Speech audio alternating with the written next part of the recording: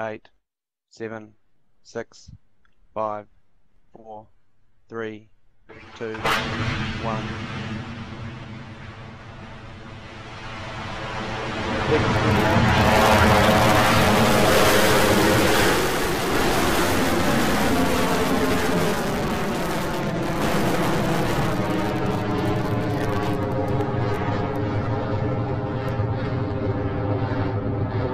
Beginning pitch over.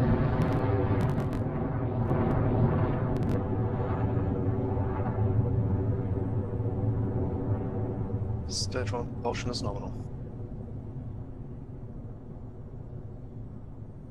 Enter Chevron one. There it goes. Rocket Lab's 10th Electron has now left the pad and is on its way to space. With over a million horsepower at its back, running out of fingers will quickly reach the toughest point in its battle against physics, the moment known as maximum aerodynamic pressure or Max Q. So let's check in on Electron's performance. Enter Chevron two.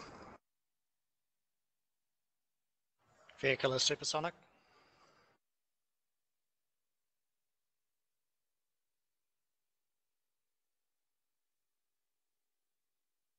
Approaching max Q.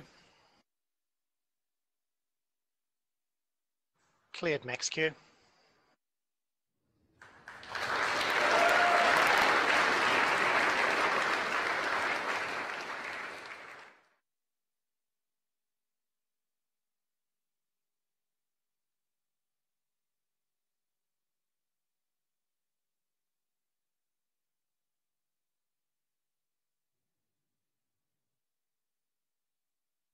Guidance is nominal.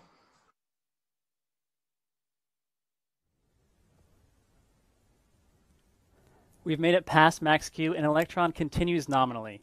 Soon, the nine Rutherford engines on Electron's first stage will shut down ahead of its separation from stage station. two and its descent back to Earth.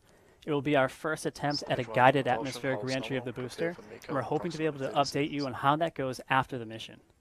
Once stage one and stage two have separated, the final vacuum optimized Rutherford engine on Electron's second stage will come to life and propel Electron the rest of the way to orbit. Let's check back in on the operators in the lead up to stage separation and stage two ignition. Staging in 15 seconds. Doing burnout check mode.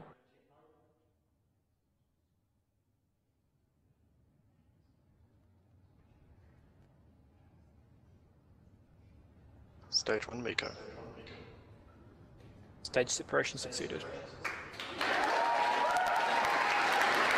Stage separation.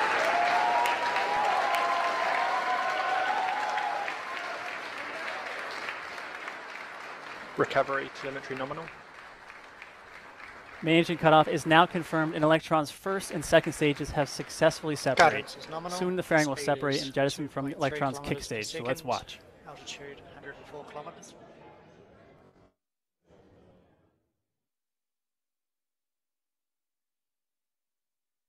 Fairing separation succeeded.